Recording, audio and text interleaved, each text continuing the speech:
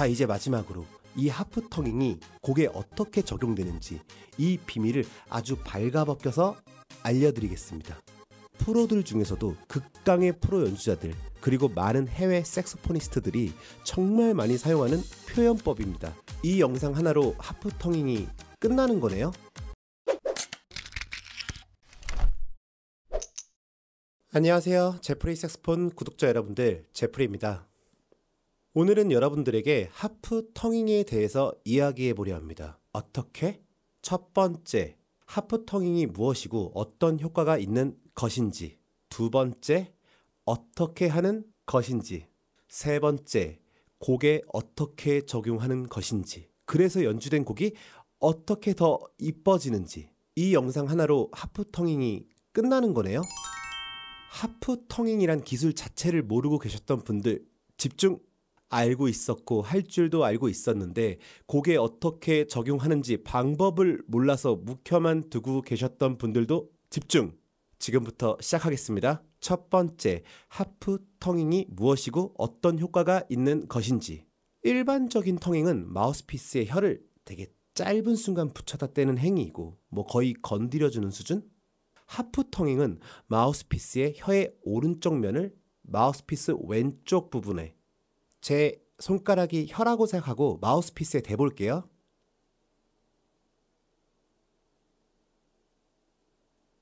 이렇게 혀를 붙였다가 떼는 행위입니다. 일반적인 텅잉은 눈 깜짝할 사이에 혀가 이렇게 치고 빠지지만 하프 텅잉은 마우스피스에 혀를 붙이고 있다가 원하는 타이밍에 혀를 떼는 행위입니다.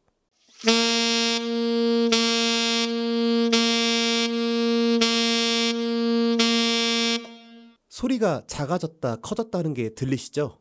혀가 마우스피스에 다 있을 때는 볼륨이 작아지고 뗄 때 커지는 원리입니다. 하프 텅잉의 효과 두 가지.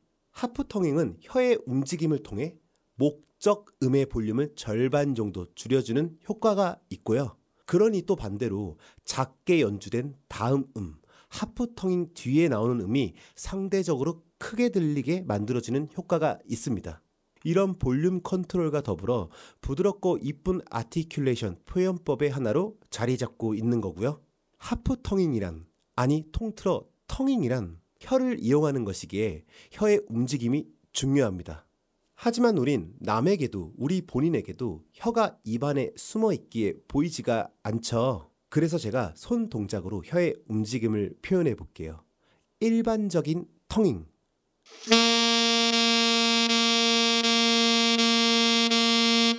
일반적인 텅잉은 이렇게 짧고 빠른 움직임으로 혀가 움직이게 되는 반면 하프 텅잉 시 혀의 움직임은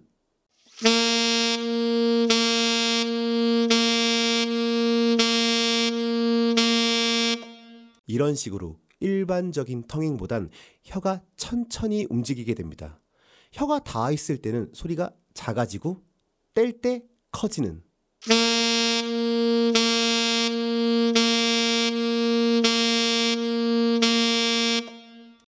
텅잉이 무엇이고 어떤 효과가 있는 것인지에 대해 설명을 드렸습니다. 참고로 이 하프 텅잉은 말이죠. 발라드에서 색소폰을 연주하게 되면 꾸미몸을 많이 넣어서 연주하게 되는데 그 꾸미몸에 하프 텅잉을 넣으면 꿀을 발라놓은 듯 달달해지고 부드러워지는 효과를 낼 수 있습니다. 이 방법에 대해 영상 뒤쪽에 설명해 드릴 테니까 조금만 기다려 주세요. 두 번째, 하프 텅잉은 어떻게 하는 것인가? 영상 초반에 짧게 설명드렸었는데요. 디테일하게 다시 말씀드리겠습니다. 혀의 오른쪽 면을 마우스피스 왼쪽에 대주는 겁니다. 혀의 오른쪽 면이 마우스피스 왼쪽을 막는 다시 말해 마우스피스 오프닝 절반을 막아주는 거죠. 그럼 호흡이 들어가는 오프닝도 절반으로 줄어들고 또 어쩔 수 없이 리드에도 혀가 어느 정도 닿아 있게 되므로 떨림도 줄어들면서 소리의 크기가 자연스럽게 줄어들게 됩니다. 연습 방법은 아주 간단해요. 대신 예민한 혀를 이리저리 움직여 봐야 하는데요. 1옥타브 솔을 잡고 처음에는 일반적인 tonguing, tonguing 발음 다, 타 혹은 두, 투. 그 이후부터 하프 텅잉 시작. 하프 텅잉 발음은 응, 다응, 다응, 다응. 다응 다응 다응 이런 식으로 이런 발음으로 연습하는 거예요. 다 발음에는 혀를 떼는 거고 응 발음에는 혀를 마우스피스에 대고 있는 거고 마찬가지로 혀가 눈으로 안 보이기에 손으로 혀의 움직임을 보여드리겠습니다. 하프텅잉 시연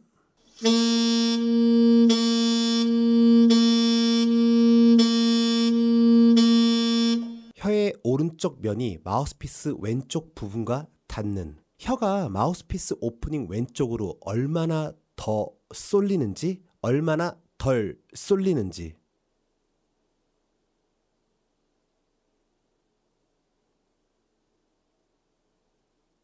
그 미세한 차이에 신경을 곤두세워 주세요.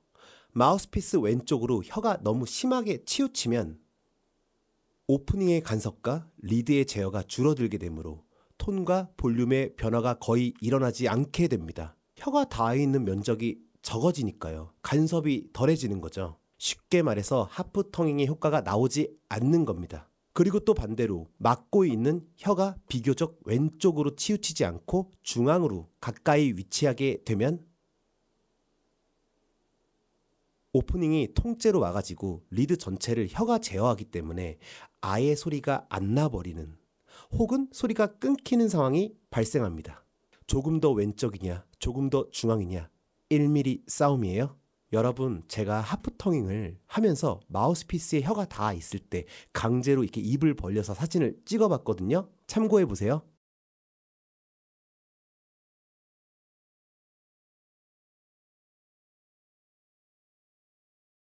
1옥타브 솔, 다응, 다응, 다응, 반복 연습, 하프텅잉, 응 발음 시 최대한 이쁘고 부드러운 소리가 나고 지속될 수 있도록 무한 반복 연습.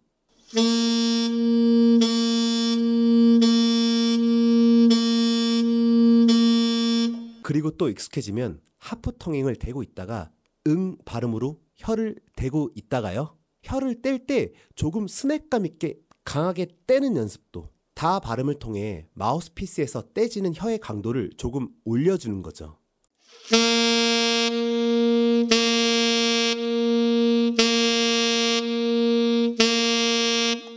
응 발음의 하프텅잉 다음 음은 상대적으로 당연히 볼륨이 크게 들리게 됩니다.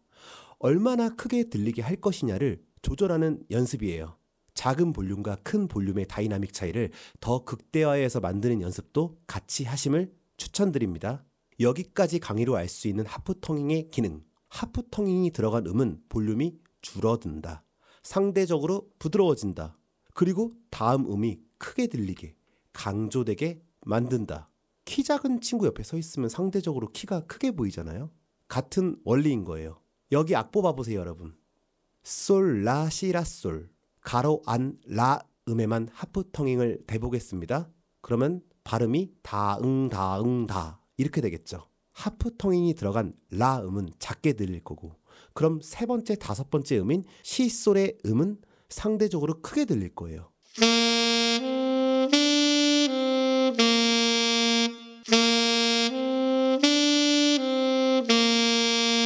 여러분들도 한번 해보세요. 전 개인적으로 half tonguing을 얼마나 능숙하게 사용하느냐 아니냐에 따라 light한 프로 연주자인지 무거운 프로 연주자인지 조심스럽게 속마음으로 판단합니다. 자 이제 마지막으로 이 half tonguing이 곡에 어떻게 적용되는지 이 비밀을 아주 발가벗겨서 알려드리겠습니다.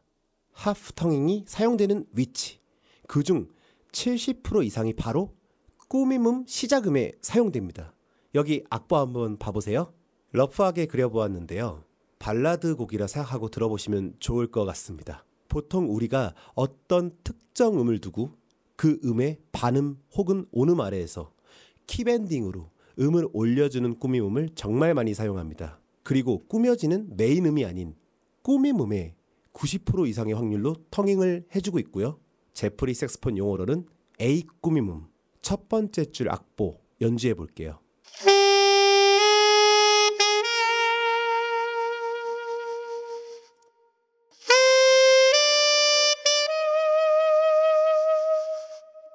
그리고 두 번째 줄 여러분 잘 보세요. 꾸미 몸에 하프텅잉 발음 응이 들어가 있습니다. 맞아요. 하프텅잉은 이런 꾸미 몸에 사용하게 됩니다. 그럼 꾸미 몸이 정말 많이 부드러워지거든요. 한번 들어보세요.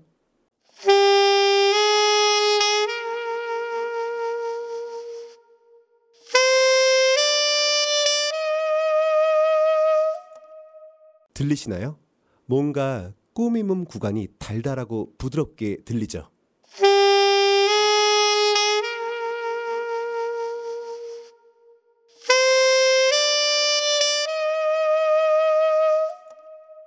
새로운 articulation 느낌. 부드럽고 강약 조절을 스스로 해주는 이 half tonguing 꾸밈음. 프로들 중에서도 극강의 프로 연주자들 그리고 많은 해외 saxophonist들이 정말 많이 사용하는 표현법입니다. 데이브 코즈, 워렌 힐 앨범 들어보면 한 곡마다 half tonguing 한 10번씩 꼭 나오거든요. 그동안 안 들렸다고요? 여러분이 이 half tonguing 사운드를 알게 되면 이제부터 조금씩 들리기 시작할 거예요. 그리고 위 악보를 다시 한번 연주해 볼 건데요. 마우스피스에 혀를 대고 있는 하프텅잉이 너무 빨리 피스를 맞고 있으면 이런 식으로 연주됩니다. 혀의 움직임을 또 역시 손으로 보여드릴게요.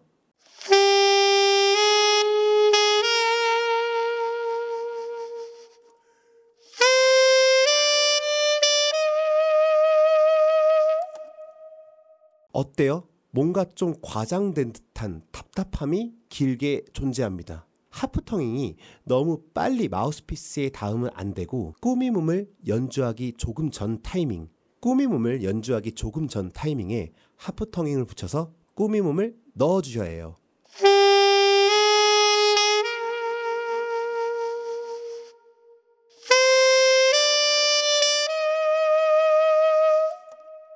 여러분들이 많이 아실 만한 곡을 하프텅잉 연습용 악보로 소박하게 준비했습니다. 제가 연주해서 올려놓았던 사랑 그 쓸쓸함에 대하여 사비 부분, 빨간색 동그라미 꾸미문 부분이 하프텅잉, 보라색 동그라미 꾸미문 부분이 일반 텅잉.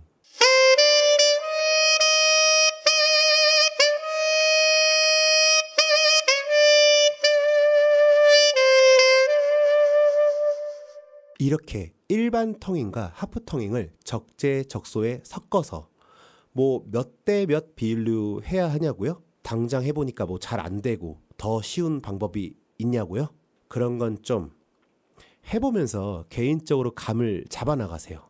밥 사준다고 하는 사람한테 자기 집 앞에 와서 사달라고 하는 거랑 똑같은 거예요. 전 정말 최대한 떠 먹여주는 방식까지 접근해서 알려주는 거라 장담합니다. 조금의 연구와 연습은 개개인이 직접 하프텅잉 시연 한 곡 더 들려드릴게요. 이번에 제가 김광진 선배님의 편지를 커버할 예정입니다. 여기 악보요. 편지 한 소절을 똑같은 방식으로 들려드릴게요.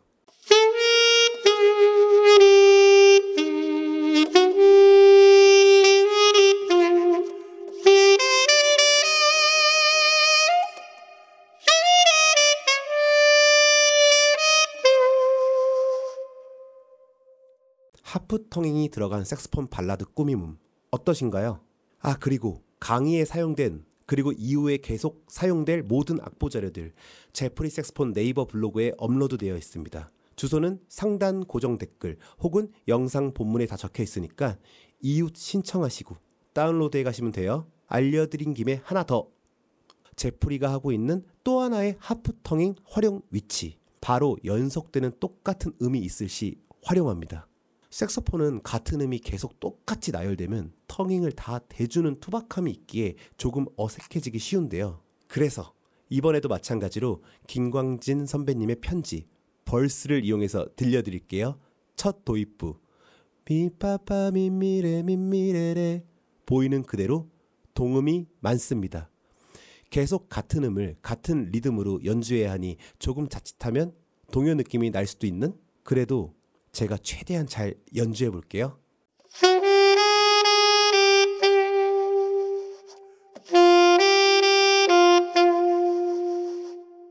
자, 여기서 하프텅잉 악보로 교체. 두 번째 마디에 하프텅잉이 들어갑니다. 들어보세요.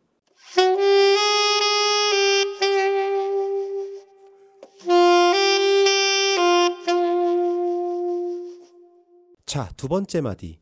미가 연속 두 번 반복되는 그 사이에 하프텅잉을 추가했어요.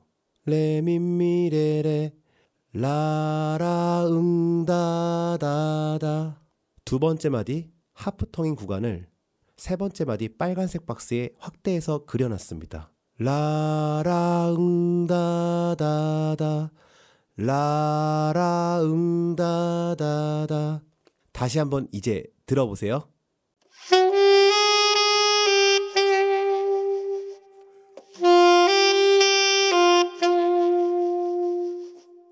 그리고 첫 마디에도 하프 텅잉을 넣을 수는 있어요. 파가 연속 두 번 반복되는 부분에 말이죠.